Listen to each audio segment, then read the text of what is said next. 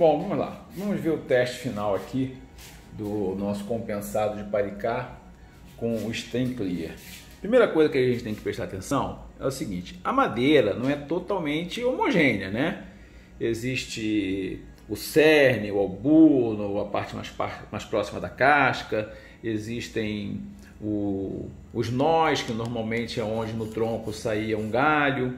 Então se percebe que há uma diferença de textura, por exemplo, entre esta parte aqui né, e esta parte aqui, essa aqui é bem mais porosa, e isso é, interferiu no uso do, do stem. Né? Então vamos lá. Primeira coisa, vamos ver como ficou a aparência geral. Né?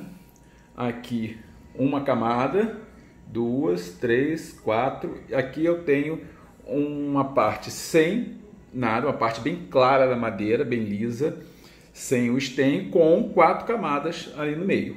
Né? Então podemos avaliar em relação a brilho e cor, né? alteração de cor e tal. Esta, esses quadrinhos aqui foram comprometidos porque a tinta que eu usei para marcar foi dissolvida pelo stem e mudou a cor dele. Então aqui eu tenho uma referência melhor de como é que funciona a, o, o, que acontece com a cor da madeira em relação à aplicação, após a aplicação do stem. Tá? Olhando mais de perto, né, vou até fazer um zoom para melhorar isso, vemos o seguinte. Aqui onde foi apenas uma camada de stem, o produto foi integralmente absorvido, né? mudou levemente a cor e a gente nem percebe que algum produto foi, foi aplicado.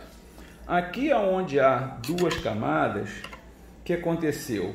Uma parte da madeira mais lisa absorveu menos e ficou brilhante, e uma parte absorveu mais do stem e ficou fosca. Vamos manusear aqui um pouquinho para vermos pelo reflexo da luz o que aconteceu. Ó.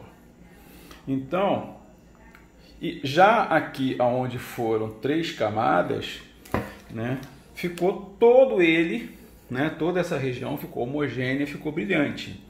E aqui ficou parte brilhante, parte não brilhante. Então, e a, a, a quarta camada, aonde houve quatro camadas, o que acontece?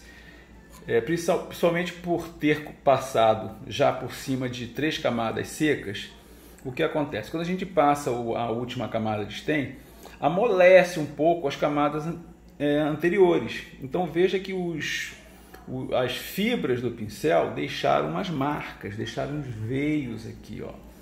Então não ficou um acabamento muito interessante.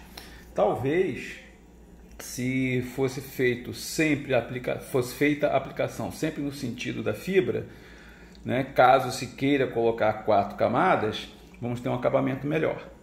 Agora, com três camadas realmente ficou muito bom, porque ficou uma aparência mais brilhante, né? não, ficou, não ficou assim evidente nenhuma marca contrária à fibra, né? e os veios ficaram preenchidos, então ficou uma coisa muito boa. O que realmente não dá é para trabalhar com duas camadas, porque fica heterogêneo, uma parte brilhante e as partes que absorvem mais não ficaram brilhantes.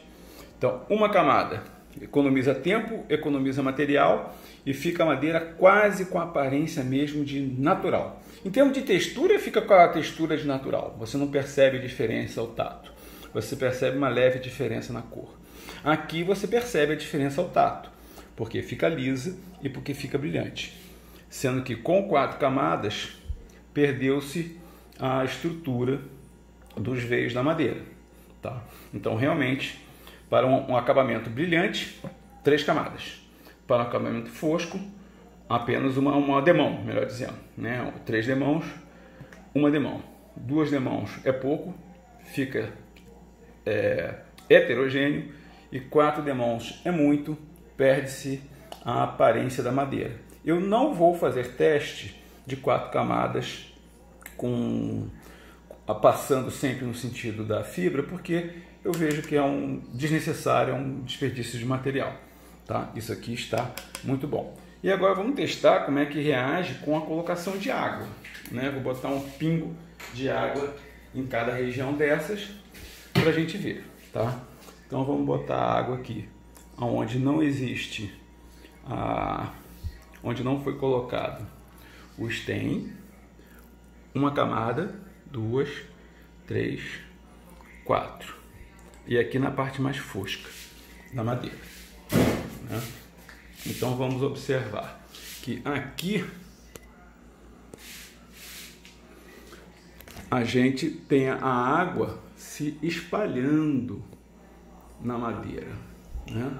sendo é, absorvida, né? absorvida pela, pela superfície e provavelmente vai marcar um pouquinho a madeira. Até pelo reflexo aqui a gente vê que ela se espalhou. Ó. Né? Aqui também, espalhamento.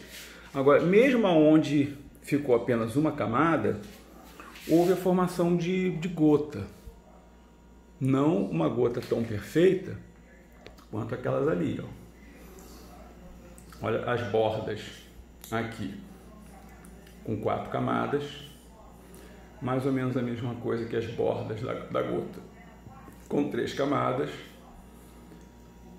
com duas camadas e com uma camada. Pelo que eu vejo, com uma camada já dá uma proteção contra a umidade. Né? Ela não parece estar sendo absorvida, como no caso aqui. Ó. como ela está sendo absorvida, né? entrando na fibra, entrando na fibra da madeira, e aqui não.